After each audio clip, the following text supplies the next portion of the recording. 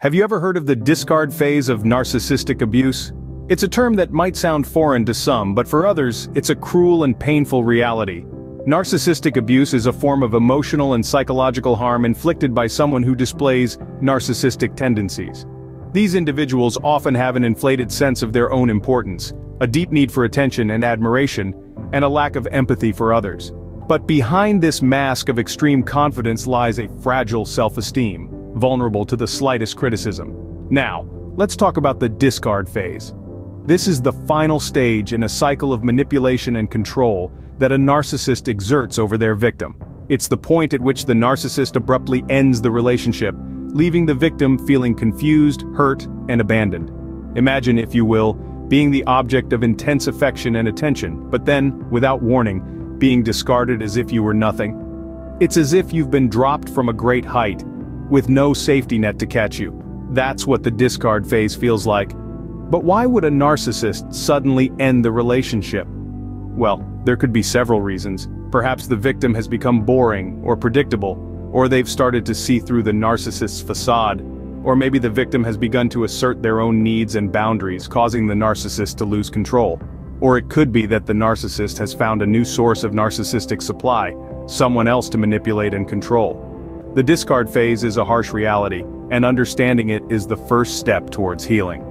It's a complex and multifaceted issue, but by breaking it down, we can start to see the patterns and behaviors that define it. Now that we've laid the groundwork, let's delve deeper into the reasons behind this abrupt end.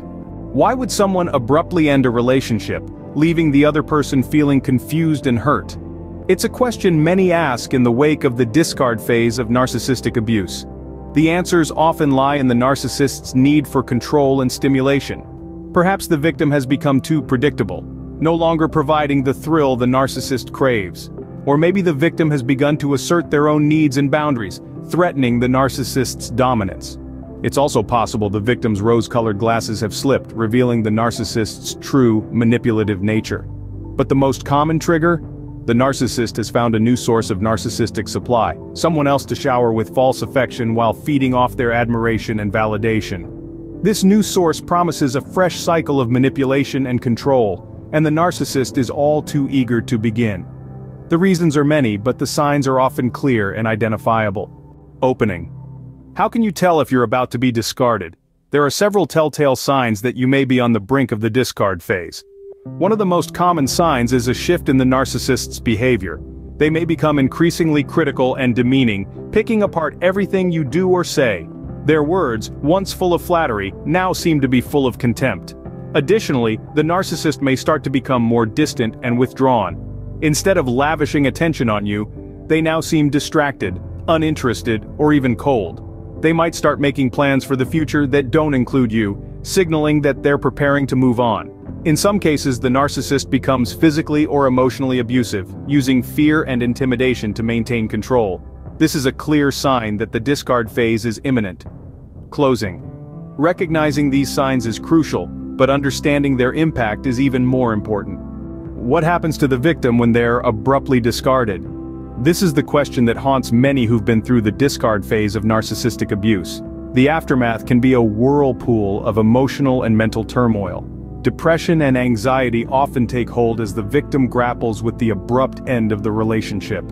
The unexpected severing of ties can trigger post-traumatic stress disorder, a debilitating condition that can linger long after the narcissist is gone. The victim's self-esteem may plummet, having been eroded by the narcissist's manipulation and control. They might struggle with a loss of trust in others, making it difficult to form new relationships.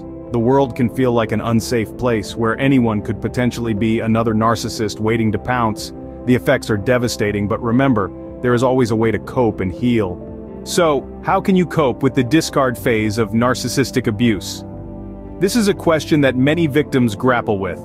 The discard phase can be a brutal and lonely experience, but there are steps you can take to weather this storm and come out stronger on the other side.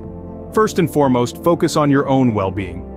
This might seem simple but it is often the hardest step. You've likely spent a considerable amount of time catering to the needs of the narcissist, often at the expense of your own health and happiness. Now is the time to turn the focus back onto you. Engage in activities that bring you joy, be it exercise, spending time with loved ones, or pursuing hobbies. These activities not only distract you from the pain, but also help in rebuilding your self-esteem. Setting healthy boundaries is another critical step. The narcissist may attempt to re-enter your life in various ways, promising change or blaming you for their actions.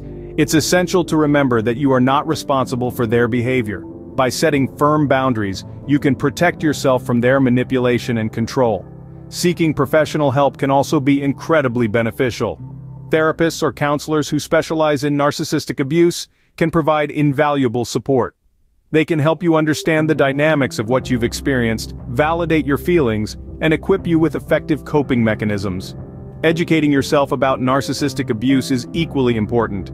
The more you understand about this form of abuse the better prepared you'll be to recognize and deal with it. Knowledge is power, and in this case, it can be a powerful tool for healing. Lastly, remember that you are not alone. It may feel like it at times, but there are countless others who have walked this path before you, and there are resources and communities available to support you. Remember, you are not alone, and you are not to blame. You are a survivor, and you are strong.